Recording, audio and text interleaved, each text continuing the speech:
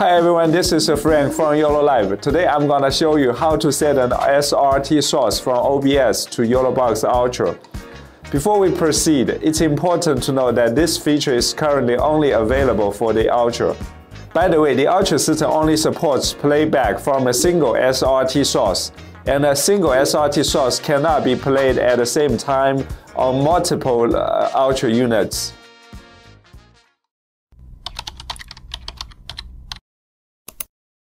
Well, finding the SRT input URL box seems to be a breeze.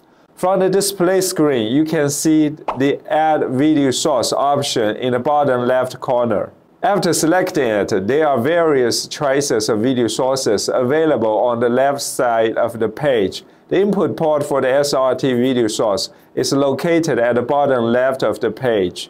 And now the box requires us to type the SRT input URL in this format.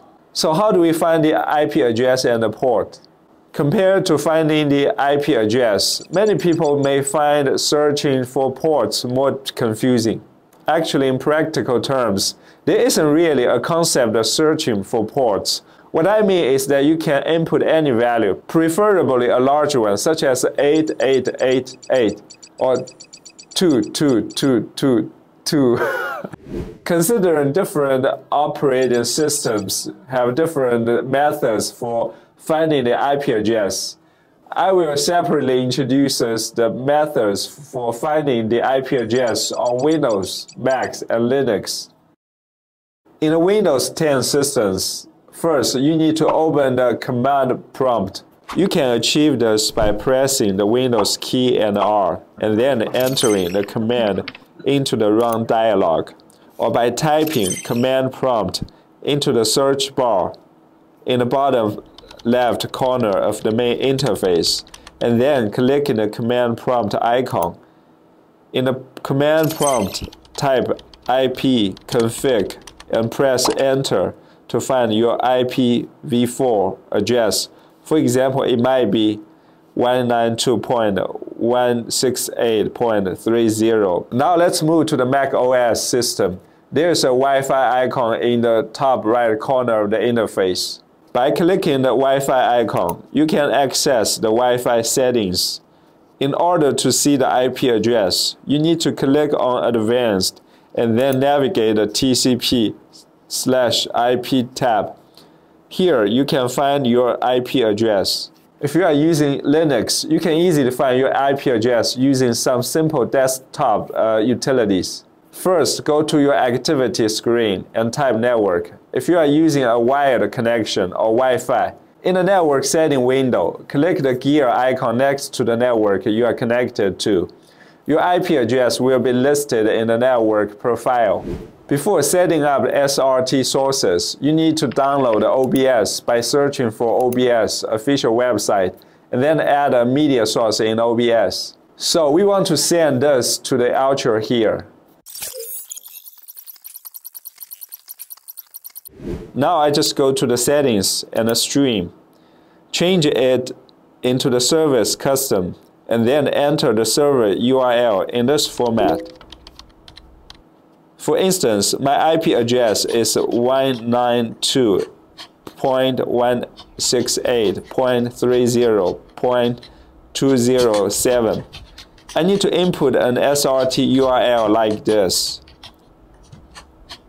Then click the confirm button. Now let's turn back to the screen of my Ultra. Enter the SRT input URL. For me, it's this URL. To wrap up, remember to start streaming in OBS before pressing the done button on the box. In the SRT URL, which I entered in OBS, what do these alphanumeric characters mean? Well, that means OBS accepts the options in the syntax. The key thing to remember here is the latency setting, measured in microseconds. By default, it's set to 120 milliseconds. It's recommended that the value should be at least 2.5 times the round trip time between the encoder and ingest server measured in milliseconds. Mode is another sometimes required option, which can be a caller, listener, or rendezvous. Caller opens a client connection. Listener starts a server to listen for incoming connections. Rendezvous uses rendezvous connections mode, which is a bidirectional link where the first initiate a handshake is considered the caller. For both Ultra and OBS, the default value is caller, and this is a case where it's useful to set the mode to listener when sending a stream to Ultra. OBS Studio then acts as a server to Ultra, which is the client.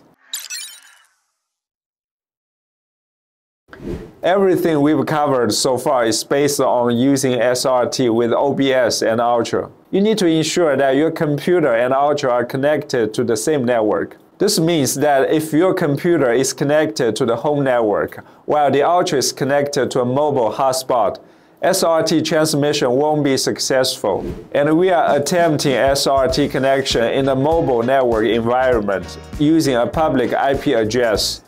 If you had similar experiences, feel free to leave a comment in the comment section, sharing your experiences and any challenges you encountered.